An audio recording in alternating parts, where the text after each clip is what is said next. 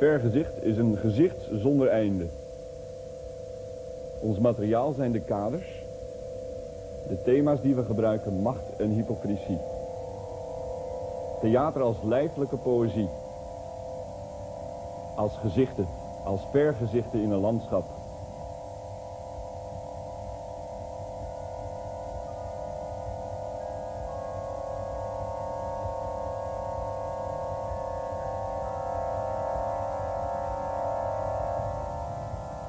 Als je ons in een lijstje zet, worden wij kunst.